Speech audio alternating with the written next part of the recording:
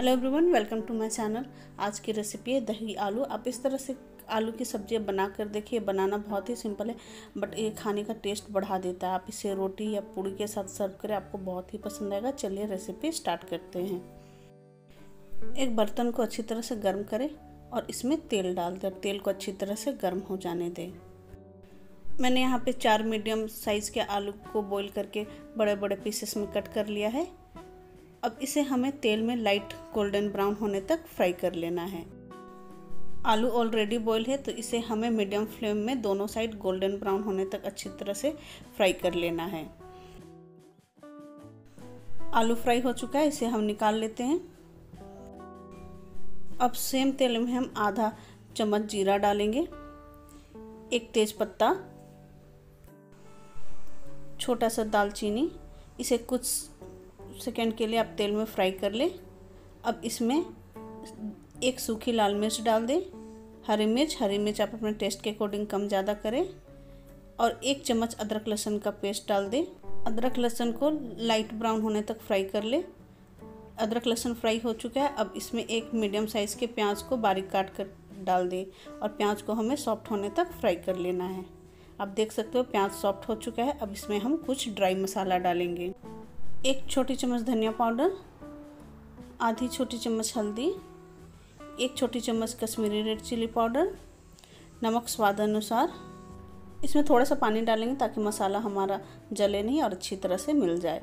इस रेसिपी में बहुत कम मसाला लगता है बट खाने में बहुत ही टेस्टी लगता है। इसे अच्छी तरह से मिला लें। और इसे बिना कवर किए हुए आप दो से तीन मिनट के लिए मीडियम फ्लेम में पकने दें। अब देख सकते हो, इसका पानी सूख चुका है, अब इसे कवर कर दे और इसका फ्लेम लो करके इसे 10 मिनट तक पकने दे ताकि मसाला हमारा अच्छी तरह से पक जाए। बट इसे आप बीच में एक दो बार ज़रूर मिला लें ताकि मसाला नीचे से जले नहीं। लगभग 10 मिनट कंप्लीट हो चुका है, इसे हम अच्छी तरह से मिला लेते हैं।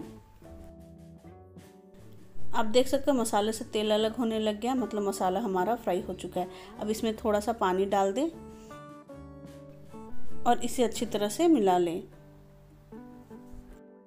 पानी डालने से थोड़ा सा मसाले का टेम्परेचर कम होगा, अब इसमें हम दही डालेंगे।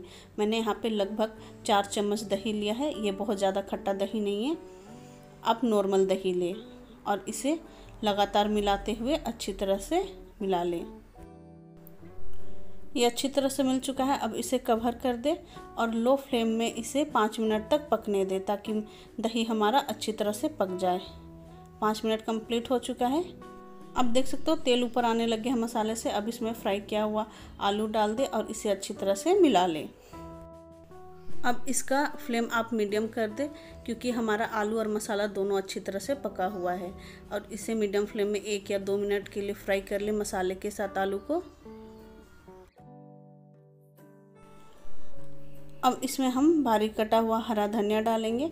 अगर आपके पास हरा धनिया ना हो तो आप कसूरी मेथी भी इसमें डाल सकते हैं और इसे अच्छी तरह से मिला लें और कुछ सेकेंड के लिए इसे मीडियम फ्लेम में पकने दें ताकि धनिया पत्ता का फ्लेवर अच्छी तरह से सब्ज़ी में आ जाए। लगभग एक मिनट हो चुका है, इसका फ्लेम बंद कर दें। हमारा दही आलू बनकर रेडी है। आप इसे राइस रोटी या पूड़ी के साथ सर्व करें। आपको उसका टेस्ट पसंद आएगा। रेसिपी अच्छी लगी तो प्लीज़ वीडियो को लाइक करें, दोस्तों के साथ शेयर करें और मिलती हूँ नेक्स्ट रेसिपी के साथ। तब तक के लिए bye take care and thank you for watching